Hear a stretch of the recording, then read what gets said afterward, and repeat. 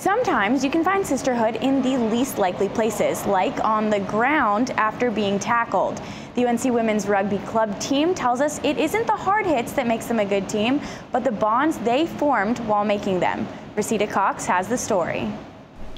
When you think of love and compassion, this is not what usually comes to mind. But for the Tar Heels, this is exactly how they show love. I don't think that I would have ever met any of these people if it wasn't for rugby. UNC's women's club rugby team, one of the best in the South. And what makes this team so strong? It's this kind of close bond that happens when you're literally like sacrificing your bodies on the field.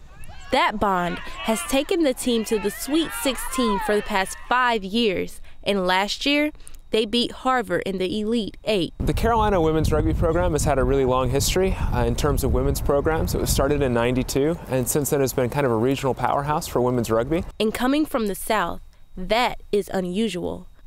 Tapper says their success does not come from individual raw talent. In rugby, your success really depends on your teammates, and I like that. Teammates who aren't afraid to take a hit for each other if they have to and they say that is what they love most about the game. In Chapel Hill, I'm Resita Cox reporting.